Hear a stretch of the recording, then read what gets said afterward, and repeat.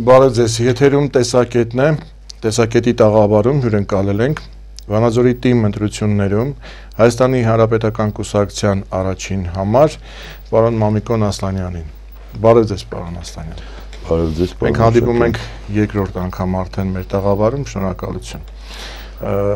Մոտենում է ավարտը Կարոզարշավի եւ դուք էլ ավարտում եք ձեր Կարոզարշավի գործունեությունը։ Սպասում ենք ընտրություններին, Ինչ դիտարկումներ ունեք,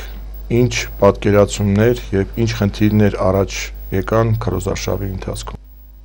Նախ ասեմ, որ ես ընտրական գործուն process-ներին մասնակցում էի առաջին անգամ։ Քարոզարշավը ինքնին նախ հետաքրքիր էր հենց սկզբից, բացման օրվանից։ Ես քարոզարշավին կուզեի տալ մի ընդհանուր բնութագիր։ Ես եւ վանաձորցիները բացահայտեցինք միմյանց։ Ես կուզեի դա անվանեի բացահայտումների քարոզարշավ, որովհետև Վանաձորցին ինձ ճանաչող Վանաձորցին ինձ միշտ տեսել էր նոտարական գործողություններ կատարելիս, իսկ ես Վանաձորցուն բացի այն որ բնականաբար կյանքի ընթացքում շփվել առերեսվել էի նաև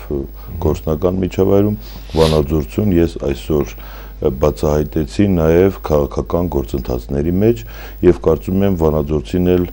փոքրիշատե ինձ բացահայտեց, չգիտեմ ինչքանով կարողացա իհարկե բավարարել, բայց այնուամենայնիվ կարծում եմ այդ process-ը ստացվեց։ Իսկ բուն քարոզարշավը, որը հիմնված էր ընդհանրապես քաղաքի խնդիրները վերհանելուն եւ այդ ուղությամբ լուծումներ գտնելուն, կարծում եմ լավ գնահատել չի կարելի, որովհետև քաղաքում շատ գործ կանելու, կիսատ թողած գործեր կան անելու, նաև կան բազմաթիվ թերություններ, որոնք ենթակա են վերացման, իսկ ընդհանուր առմամբ մենք նաև մեր քարոզարշավի շրջանակներում նորամուծություն էինք մտածել եւ մեզ հետ քարոզարշավի ժամանակ վերցնում ենք նաեւ մեր համակիրների միջոցով, շրջիկ խմբերի միջոցով մենք արգղեր էինք մեր մեզ հետ տանում թաղամասեր, կոլեկտիվներ, որպիսի մենք կարողանանք արձանագրենք նաև քաղաքացիների կողմից արվող ընդհանրապես դիտողություններ, առաջարկություններ, բողոքներ եւ այդ ամենը խմբավորելուց, տեսակավորելուց հետո գալիս ենք մի այսպիսի եզրահանգման, որ Վանաձորցու համար թիվ 1 խնդիրը աշխատատեղերի խնդիրն է, գրեթե հավասար նույն նշաձողի վրա է քաղաքի ասֆալտապատման խնդիրը, դրան հետևում է աղբահանության խնդիրը, հետո ահագին բողոքներ կային համատիրությունների աշխատանքից ու արդեն դրան հաջորդում էին հանգստի գոտիների, զվարճանքի վայրերի, լուսավորության թերությունները մոտավորապես կարելի է խմբավորել հետևյալ կերպ։ Վանադորցին այսօր խնդիր ունի բարեկարգ, կանաչապատ, մաքուր քաղաք ունենալու եւ այդ ուղությամբ կարծում եմ մեր ապագա նաեւ պլանները ու նաեւ գործողությունները պիտի ուղված լինել հենց քաղաքի այդ խնդիրների լուծմանը։ Իսկ շատ էին այդպիսի գրությունները, խնդրանքները կամ նամակները ինչպես կվորակենք։ Այս պահի դրությամբ խմբավորել ենք մոտ 2500 դիմումներ։ Բոլոր թաղամասերում ինտենսիվություն Այո, այո, ես հիմա կարելի ասել ամբողջական պատկեր ունեմ ցանկացած թաղամասի սկսած մանր խնդիրներից վերջացրած գլոբալ խնդիրներով ամբողջական պատկեր արդեն ես ունեմ։ Իդեպ Քարոզարշավի միջև սկսվելն էր, երբ որ ես ու թիմը մտնում էինք քաղաքական պայքարի մեջ, մենք նախապես նաև պատկերացնում էինք Քարոզարշավի եւ բուն ընթացքը պրոբլեմատիկայի առումով եւ նաև պատկերացնում էինք այն խնդիրների պրիզման, որ մեր արժև դրվելու է ու նաև այդ ամենը ծանր ու թեթև անելուց հետո է որ որոշել էինք նաև հայտնվենք այդ քաղաքական զարգացումների մեջ հստակ իմանալով, որ կարողանալու ենք հետագայում լուծենք քաղաքի արժև ծառացած հիմնական ու մեծ խնդիրները իհարկե նկատի ունեմ ապագա 5 տարիների ընթացքում Պարոն Աստանյան, իսկ հասարակության կողմից դուք զգացիք արդյոք հավատ ձեր խոսքի նկատմամբ։ Գիտեք, հասարակությունը ինքը պիտի գնահատի իմ խոսքի արժանահավատությունը, իսկ ընդհանուր առմամբ, եթե մարդիկ ընդհանրապես համեմատության մեջ են տեսնում ընդհանրապես ցանկացած լավ կամ վատ երևույթ, իսկ կարծում եմ իմ անձը բուրըն քննարկումներ է անցել տարբեր ատյաններում սկսած փողոցից վերջացրած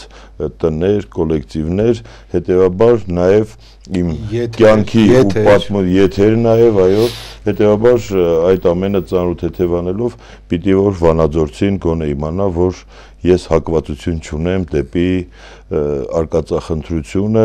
դեպի մանիպուլյացիան եւ կարծում եմ այդ ամենը նաև խմբավորելով պիտի որ վերջնական եզրահանգման վանաձորցին գա հոկտեմբերի 2-ին ընտրություն կատարելիս։ Պարոն Աստանյան, եթերից տեսակետի տեսակետ հաղորդաշարի շրջանակներում բազմաթիվ անգամ լսվեց ձեզ հետ կապված նեգատիվ վերաբերմունք այս կամ այն կուսակցության առաջին դեմքերի կողմից լսել եք բնականաբար եւ ինչ մտածում ունեք Եթե անկեղծ չեմ լսել, ընդամենը լուրերի միջոցով ինքս անձամբ չեմ լսել, որովհետև աշխատել եմ ուշադրություն չդարձնել նման երևույթներին, ինչու, որովհետև երբ որ դու մի process-ի մեջ ես ու դու գիտես ուր ես գնում, կարծում եմ դու ուղղվածությունը պիտի վերցնես հենց այդ ուղեգիծը ողելու համար, իսկ եթե դու շեղվում ու զբաղվում ես այլ եւ այլ գործողություններով թեկուզ ուրիշների ասածը քննարկելով, պատճառներ փնտրելով, ապա դու շեղում ես հիմնական քո ուղուց։ Իսկ սկզբնական շրջանում անկեղծ ասած դե ես էլ քաղաքական այդպիսի փորձառություն չունեի, ավելի ինչ որ սրտամոտ էի ընդունում թե քննադատությունը, թե այդ ցեղ շպրտելու, մրոտելու երևույթները, բայց հետո հասկացա, որ դրանք անիմաստ գործողություններ են, որովհետև ամեն դեպքում հասարակությունն ու ժողովուրդն է որոշում եւ ես այդ ամենից ձերդ մնալու հենց հետևանքով էլ ավելի շատ սկսեցի շփվել ժողովրդի հետ, ազգաբնակության հետ վերհանելու խնդիրները, որոշակի խնդիրներին նաև լուծում տալու միջոցով ու ճուզեցի նաև ինքս ինչ որ մտնեմ այլ դաշտեր, որովհետև դրանք իմ դաշտերը չեն։ Հետեւաբար Շատ լավ։ Իմ վրա որպես, այսպես ասեմ, ինչ որ հոգեբանական որևէ ազդեցություն չեմ էլ կրել։ Ինչպես եք գնահատում, ինչպես եք տեսնում պայքարի քաղաքական մոտեցումը եւ անznավորված մոտեցումը։ Գիտեք, ամբողջ աշխարհում է ընդունված, որ քաղաքական process-ները իդեպ առաջադեմ աշխարհում գրեթե բոլոր ընտրությունները, մանավանդ եվրոպական տիպի երկրներում անց են կացվում նույն սկզբունքով, նույնիսկ գյուղապետերի մակարդակով, այսինքն գյուղական համայնքների մակարդակով, բայց այնուամենայնիվ եթե նույնիսկ Ամերիկայի ընտրաշավը նայենք, այնտեղ ներկայացված են միշտ ներկայացված են լինում երկու հզորագույն կուսակցություններ ու ուժեր, դեմոկրատական եւ հանրապետական թևերը, բայց միևնույն ժամանակ ամբողջ քարոզարշավը խարսխված է անձերի շուրջ եւ հիմա ինձ որ հարցնեն Տրամպն է հանրապետական թե Կլինտոնը անկեղծ ես չեմ կարողանա պատասխանել, որովհետև այս վերջի process-ների խորամուխ չեմ եղել, բայց գիտեմ մեկի թե մյուսի մոտեցումներ ընդհանրապես քաղաքականության վերաբերյալ, հետեւաբար անձերը որոշակի ու մեծ դերակատարում միշտ ունեցել են եւ պատմության ընթացքի վրա եւ կառավարման process-ների վրա ու չեմ կարծում թե դրա մեջ որևէ երևույթ կա, որովհետեւ ինքը կուսակցությունը մարմնավորված կերպար չի եւ կուսակցությունը մարմնավորում կամ կերպար է տալիս այն անձը, որը ներկայացնում է անձը կամ անձանց խումբը, ովքեր որ ներկայացնում են տվյալ կուսակցությունը։ Հետևաբար շատ նորմալ եւ դրական եմ գնահատում անձանց դերը եւ անձանց առանձնահատուկ դերը նաեւ այս որակի ընտրություններում։ Տեսեք, դուք հանրապետական կուսակցության անդամ եք եւ հանրապետական կուսակցության առաջին համարն եք։ Դա մենք ելի ենք խոսել այդ մասին, բայց դա ձեզ ինչ է տալիս դուք դրանով պարտավորվում եք դրանով հպարտանում եք դրանով ինչ որ ինչ զգացողություն եք ունենում հենց կոնկրետ թիմ ընտրությունների հետ կապված գիտեք ես առաջին հերթին պարտավորված եմ Վանաձորցու արչև մանավանդ այսօր այս բուրըն քարոզարշավից ու բնակչության հետ ունեցած իմ շփումներից հետո հետեւաբար նաև կուսակցության ռեսուրսը, որ այսօր ունի հանրապետական նույն կուսակցությունը, թե իշխանության, թե կառավարության դեպքով ես ավելի շատ կուզենայի ծառայեցնեի Վանաձորի ժողովրդին, քան թե ինչ որ Վանաձորի ժողովուրդը ծառայեր որևէ կուսակցության, որովհետև ես պիտի նորից կրկնվեմ իմ քարոզարշավի շրջանակներում միշտ իմ մեջ մի արտահայտություն է ծնվել, որ Վանաձորցին ապագա ընտրություններում ոչ թե կուսակցապետ է ունենալու, այլ ունենալու է քաղաքապետ, որը լինելու է ցանկացած այդ թվում նաև անկուսակցական, այդ թվում նաև անտարբեր Վանաձորցու քաղաքապետը եւ չեմ կարծում թե որևէ մեկը Վանաձորում դառնալով կամ ընտրվելով քաղաքապետ կարող է իրեն թույլ տալ քաղաքը ծառայեցնել նեղ կուսակցական շահերի կամ ինքը դառնա նեղ կուսակցական շահերի, չգիտեմ, գերին այստեղ Վանաձորը խնդիր ունի, մենք Վանաձորի խնդրի համար է, որ ես կոնկրետ իմ անունից ասեմ, ես ինքս Վանաձորյան քաղաքականության պատճառով է, որ մտել եմ քաղաքական process-ների մեջ եւ ինձ Վանաձորյան քաղաքականությունից դուրս չեմ տեսնում, ես ընդհանրապես քաղաքական մարդ եմ դարձել, քաղաքականություն եմ մտել զուտ ու բացառապես Վանաձորին ծառայելու համար։ Հաջողության դեպքում ինչ գործընթաց եք ծավալելու, ինչ որ մի չափով թեկուզ մի փոքր չափով եւ բնականաբար դա աստիճանաբար զարգացնելով արտագաղթի հետ կապված շատ կարևոր թեմա է, որովհետև այսօր հասարակությունը ունի հացի խնդիր, ունի պաշտպանվածության շատ կարևոր պահանջ եւ ինչ է կանելու այդ ուղությամբ։ Իդեպ ես չեմ ուզում քաղաքապետի պաշտոնը հաճախ ընդունված է ասել իրականության մեջ, որ քաղաքապետը աշխատատեղ ստեղծող չի ինքը, ասենք գործարաններ կամ ֆաբրիկաներ բացող չի ինքը, բայց այստեղ կան մի բայց. Վանաձորը, Վանաձորի քաղաքապետը եւ Վանաձորի քաղաքապետի թիմը կամ քաղաքապետարանի աշխատակազմը պարտավոր են Վանաձոր քաղաքում ստեղծել սկսած բարոյահոգեբանական մտնոլորտից քաղաքի գրավչությունից արտաքին հարմարավետությունից, կանաչապատումից, մեքենաների ճանապարհների նորմալ լինելուց վերջացրած նաև օտար երկրյա կամ մեր հայրենակից ներդրողներին քաղաք հravirելու process-ը պարտավոր են կազմակերպել։ Հետևաբար նաև իմ ու թիմակիցներից առաջնահերթ խնդիրը Վանաձոր քաղաքին նմանատիպ տեսք տալն է եւ այնպիսի մտնոլորտ ստեղծելը, որ ներդնող մարդը այստեղ իրեն զգա եւ ապահով եւ պաշտպանված եւ նաեւ ինքը իմանա, որ գտնվում է հարմարավետ քաղաքում, կարծում եմ, որ ցանկացած մարդ այսօրվա մարդու պահանջներն են աճել նաեւ մանավանդ գործարար մարդկանց, գործարար մարդը պիտի լինի նորմալ հարմարավետ միջավայրում, որ նաև իր մեջ դրական ցանկություն առաջանա Վանաձոր քաղաքում որևէ, չգիտեմ, գործարան հիմնելու կամ արտադրություն ստեղծելու բիզնեսին աջակցություն։ Բնականաբար այսօր Վանաձորում որոշակիորեն կանանց աշխատանքի ապահովվածության խնդիր կա լուծված խնդիր կա կարի արտադրության տեսքով, բայց տղամարդկանց համար կարծես թե աշխատատեղերի մեծ լուծված խնդիր չկա ու իմ առաջնահերթ խնդիր նաև ես վանաձորցիներին խոստացել եմ որոշակիորեն կարողանան քաղաքում ստեղծել այնպիսի պայմաններ, որ մեր այն տղամարդիկ, ովքեր որ բացակայում են Հայաստանի Հանրապետությունից, արտերկրում են իրենց օրվա հացը վաստակում եւ իրենց ընտանիքներին այստեղ պահում, մանավանդ հաշվի առնելով նույն Ռուսաստանի Դաշնությունում կամ Ուկրաինայում տիրող ճգնաժամային վիճակը, եթե Հայաստանի Հանրապետությունում մասնավորապես Վանաձոր քաղաքում մենք կարողանանք աշխատատեղերի որոշակի բազա ու բանկ ստեղծել, որտեղ գրեթե կամ չնչին տարբերությամբ աշխատավարձի խնդիր այստեղ լուծվի, կարծում եմ բազմաթիվ վանաձորցիներ նաև կվերադառնան իրենց հայրենի քաղաքում իրենց աշխատանքը շարունակելու։ Մեծ պատասխանատվություն է լինելու ձեր ուսերին ընտրվելու դեպքում, պարոն Ասանյան։ Շատ լավ։ Անդրադառնանք նաև անցած մեկ շաբաթվա ընթացքում իրադարձություններին քաղաքական իրադարձություններին, տիմ ընտրությունների շրջանակում, որտեղ դիմադիր երկու կուսակցության մի դեպքում նախագահ, մյուս դեպքում վարչության անդամը, խոսքս վերաբերվում է ավելի բացահայտ Էդմոն Մարուկյանին եւ Նիկոլ Փաշինյանին եւ ընդդիմության միավորման, միացումի հետ կապված հարց առաջացավ Էդմոն Մարուկյանի կողմից, որը մերժվեց Նիկոլ Փաշինյանի կողմից, որովհետեւ պայմաններին չէր համաձայնվել։ Մի խոսքով, ձեր գնահատականը կուզենայի նաև այս դեպքում հասկանալ եւ ընդդիմության միուս կուսակցությունները չմասնակցեցին այս գործընթացին լրություններ կարծես թե անկեղծ ասած ինձ համար ես քարոզարշավի շրջանակներում սկզբունք եմ դարձել, երևի դա նկատելի եղել, որ